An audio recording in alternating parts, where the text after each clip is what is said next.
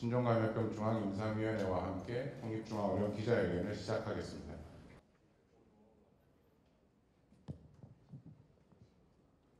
어, 전 세계가 여름을 거치면서 다시 확진자 수가 늘어나고 있습니다.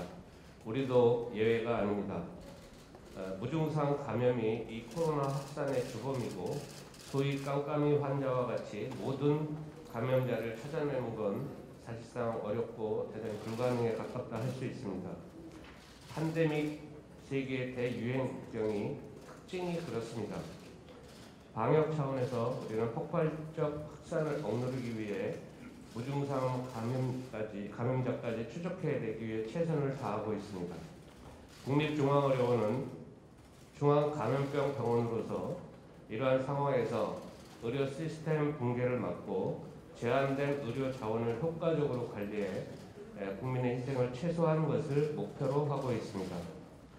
우리 중앙임상위원회는 그동안 3천여 명의 환자의 치료 경과를 추적했고 또 외국 문헌에서도 어, 다 함께 종합했을 때 이 코로나의 임상, 양상, 중증도 등 병의 성격을 많은 부분 알게 되었고 그에 따라 모든 환자들이 입원 치료를 필요로 하지 않는다는 사실도 어, 알고 있게 되었습니다.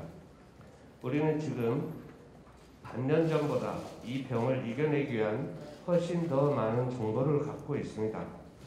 지난 한 주일 수도권을 중심으로 코로나19가 재확산되고 2차 대유행이 오는 곳 아닌지 우려가 많은 가운데 어, 오늘 우리가 알고 있는 것들 정보들을 바탕으로 모두 우리 모두 어떤 대응을 해야 나가야 될 것인지 여러분과 함께 말씀을 드리고 하자 하는 자리가 되겠습니다. 저희 역할이 그 임상이기 때문에 구체적인 그 방역 단계를 여기서 말씀드리는 것은 좀 적절치가 않겠고요. 다만 어, 이 자리에서 제가 여러 번 강조를 그 했던 사안인데 1차적으로 어, 이 평가, 어, 그 역학적인 이런 그 단계하고 관련된 거는 의학 또 의료의 준비를 평가하고 분석하는 그런 게 기초가 돼야 된 거는 분명합니다.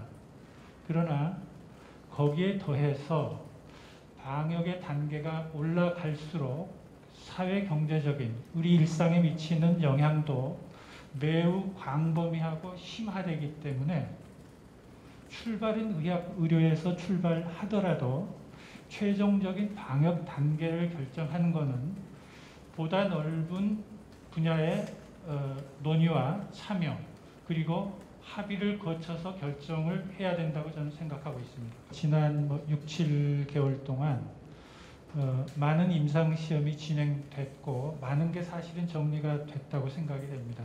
현재까지 어, 엄격한 임상 시험을 거쳐서 효과와 안전성이 확인된 약물은 두 가지인데 항바이러스제 가운데서는 렘데스비어 그 다음에 항염증 치료제의 경우에는 덱사메서존이 되겠습니다. 지난주에 이미 WHO가 백신은 출구 전략이 될 수가 없다는 말을 했습니다.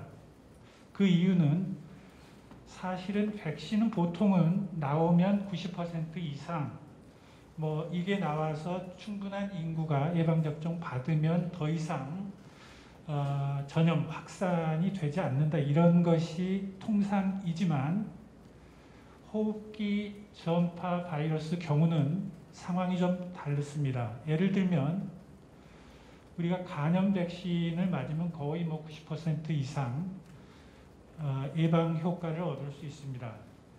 근데 간은 우리 몸 안에 들어 있습니다. 그 얘기는 우리 몸의 항체나 면역 세포가 늘 간세포, 간 조직에 가서 간염 바이러스를 감시하고 찾아내고 죽이는 그런 임무를 훌륭하게 수행할 수 있는 조직입니다. 그런데 호흡기는 일부는 우리 몸 깊숙이 있지만 소위 상기도는 우리 몸 밖에 있습니다. 기도 점막, 코, 목 이것이 우리 몸 안에 있는 것 같지만 곰곰이 생각해 보면 몸 밖에 있습니다. 그리고 이 부분에 감염을 초래하는 바이러스는 공기나 침방울 이런 거를 통해서 우리 몸 표면의 감염을 일으키는 겁니다. 그렇기 때문에 우리 몸에 백신 접종으로 만들어진 항체나 세포가 상기도의 표면 위로 나와야 됩니다. 세포는 우리 몸의 표면 밖으로 나올 수가 없습니다. 항체 가운데도 일부 특별한 항체가 이런 점막 위로 나와서 점막에 침투하는 바이러스를 컨트롤하는 것입니다.